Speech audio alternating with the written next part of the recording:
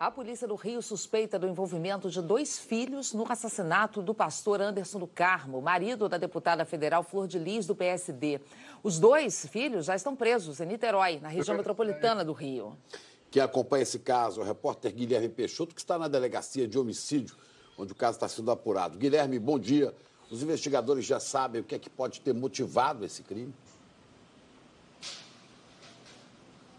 Oi, Chico e Ana, bom dia para vocês, um bom dia a todos. A Polícia Civil investiga se os dois filhos planejaram a morte do pai depois de descobrir uma relação extraconjugal. Os dois passaram a noite atrás das grades. O mais velho, Flávio dos Santos, foi preso ontem no começo da tarde durante o enterro do pai no município de São Gonçalo. Contra ele, havia um mandado de prisão em aberto por violência doméstica.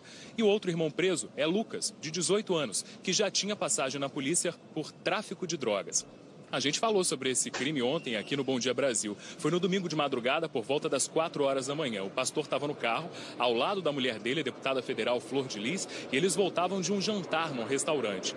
Entraram em casa, no bairro de Pendotiba, Niterói, aqui na região metropolitana. Mas os parentes contaram que logo depois o pastor teve a impressão de ter esquecido algo no carro. Voltou na garagem para buscar e nesse momento os parentes ouviram os disparos. Correram para ver, encontraram já o pastor baleado no chão. Ele chegou a ser socorrido, levado ao hospital, mas mas não resistiu. Ontem, durante o enterro, a deputada federal Flor de Lis disse que acredita que o marido foi vítima de uma tentativa de assalto, mas essa possibilidade está praticamente descartada pela Polícia Civil. Chico e Ana. Obrigado, Guilherme. Está preso em Goiás um piloto que foi filmado espancando a ex-namorada.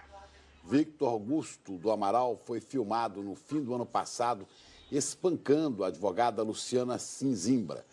A justiça decretou a prisão preventiva de Vitor porque ele violou medida protetiva, determinando que se mantivesse pelo menos a 300 metros de distância da ex-namorada. A tornozeleira eletrônica indicou que ele se aproximou dela 12 vezes este mês. Vitor se apresentou à polícia e foi levado para o presídio de Anápolis. Uma força-tarefa prendeu ontem 10 pessoas acusadas de extração ilegal de madeira na reserva indígena Caripuna, em Rondônia. Uma empresa que vendia lotes invadidos foi fechada. A operação vai durar 10 dias. Assim que amanheceu, as dezenas de viaturas com quase 600 homens da Polícia Federal, Exército, Força Nacional, IBAMA e FUNAI chegaram ao distrito de União Bandeirantes, a 200 quilômetros de Porto Velho. A primeira apreensão foi este aparelho de rádio que os criminosos usavam para avisar sobre operações na região. Os alvos são as madeireiras. De acordo com as investigações, seis delas são usadas para falsificar documentos que legalizavam a retirada de madeira de áreas de proteção. Esta empresa de geoprocessamento foi fechada. Segundo a polícia, um grupo criou uma associação rural para vender os lotes. Este mapa apreendido mostra que quase dois terços da área de 153 mil hectares estavam com os lotes à venda, a preços bem abaixo do mercado. Os compradores, em geral, são moradores aqui da região, pessoas humildes, né? E com a pouca, pouca poupança que tinham, investiam nesse sonho de ter uma terra maior para poder plantar. Barreiras foram montadas nas seis estradas que dão acesso à reserva Caripuna. Mais de 300 homens fazem um pente fino nos locais apontados pela fiscalização como desmatadas e de grilagem. A justiça autorizou o bloqueio de 46 milhões de reais das empresas envolvidas na venda ilegal de terras e extração de madeira. Moradores de um bairro de Nova Iguaçu, na Baixada Fluminense, estão há quase 15 horas sofrendo as consequências de um vazamento de uma adutora de água. O rompimento foi na tarde de ontem, na altura do quilômetro 32 da antiga estrada Rio-São Paulo, em Nova Iguaçu. Pelas imagens, dá para você ver aí a força do vazamento. Técnicos da Companhia de Água do Rio estão fazendo o conserto desde ontem. O vazamento dessa adutora atingiu seis quarteirões e deixou várias casas alagadas. A SEDAI prometeu pagar pelos prejuízos dos moradores que passaram a madrugada calculando as perdas.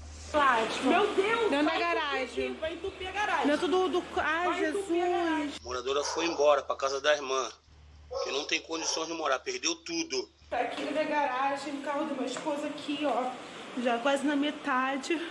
Isso aconteceu, sabe que hora? 5 e meia da tarde. E nós estamos aqui, ó, duas horas da manhã estamos aqui. Tudo revirado, quebrou o portão, porta da senhora, as coisas todinhas. Sufoco, né? A gente fala agora da situação da Odebrecht, que entrou ontem com pedido de recuperação judicial. As receitas da empreiteira despencaram depois da crise econômica e do esquema de corrupção revelado pela Operação Lava Jato. Vamos ver aqui no nosso telão, o pedido de recuperação passa de 83 bilhões de reais, é o maior da história do país. A empresa acumula dívidas de, olha, quase 100 bilhões de reais, 98 bilhões e meio. E os maiores credores são esses aqui: BNDES, Banco do Brasil, Caixa Econômica, Bradesco e Itaú. A empreiteira vai ter 60 dias para apresentar um plano de recuperação que vai precisar da aprovação dos credores. A recuperação judicial é uma forma de evitar a falência, já que impede a execução imediata das dívidas.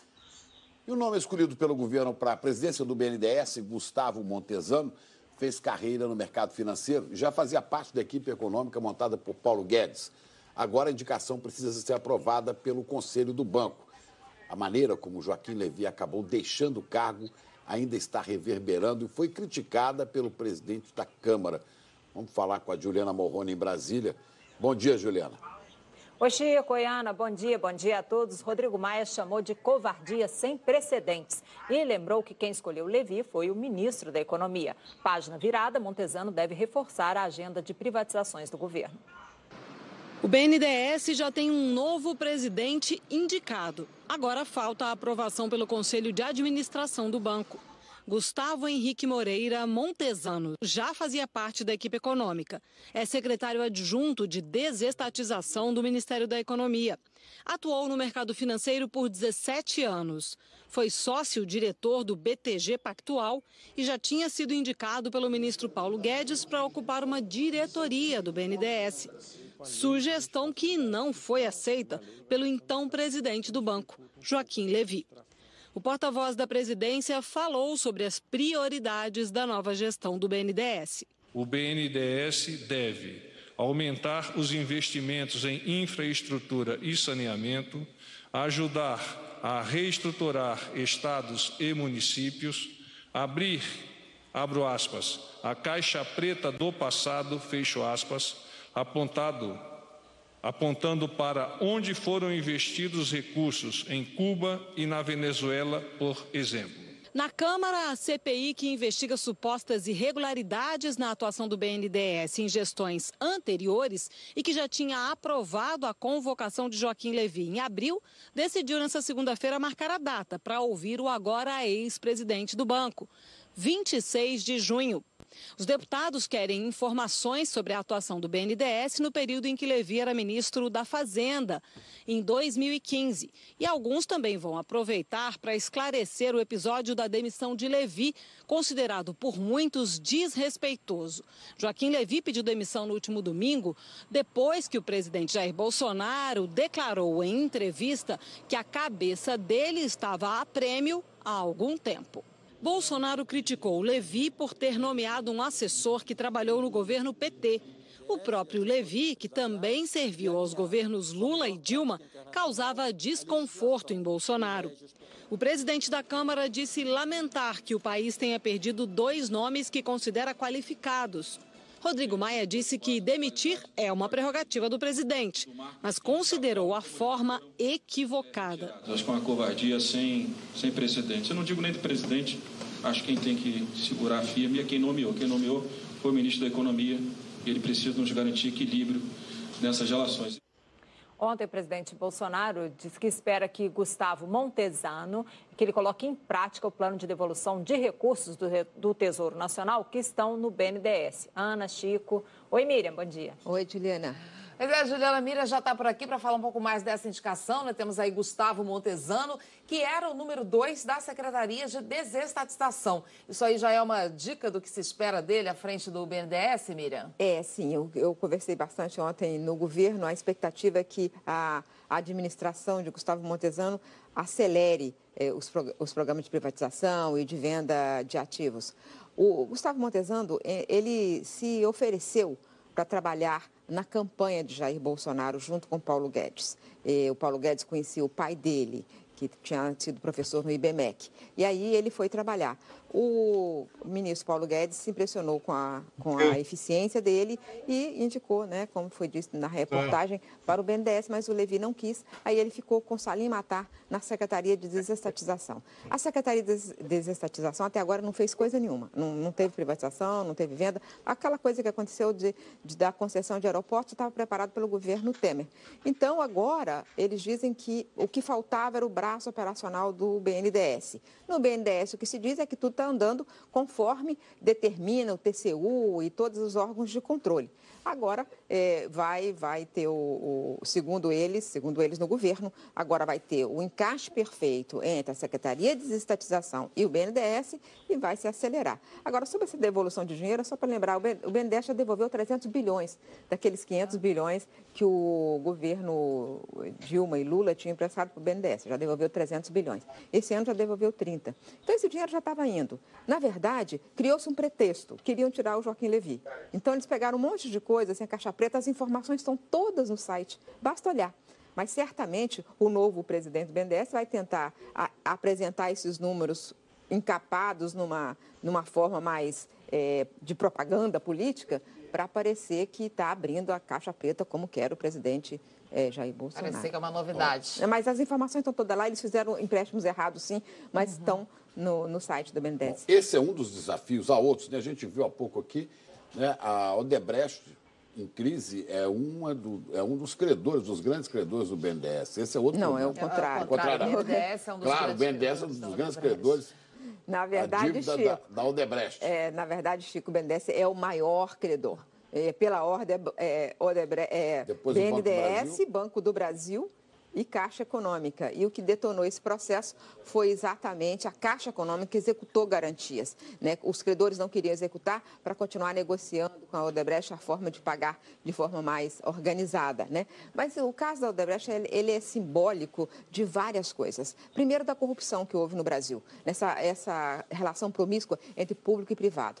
É, então, a corrupção que foi desvendada pela Lava Jato, não é, não é a Lava Jato que provoca a quebra, mas a corrupção e a Lava Jato apenas é, revelou. Mas, além disso, teve também decisões gerenciais erradas.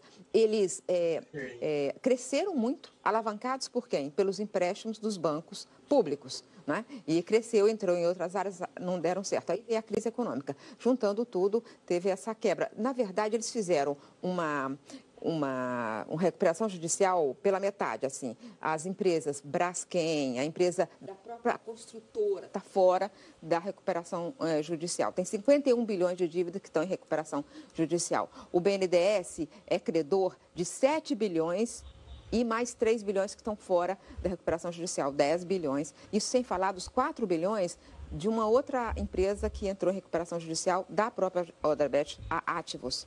Mas, enfim, é um caso complicado que vai ser é, discutido nos próximos tempos.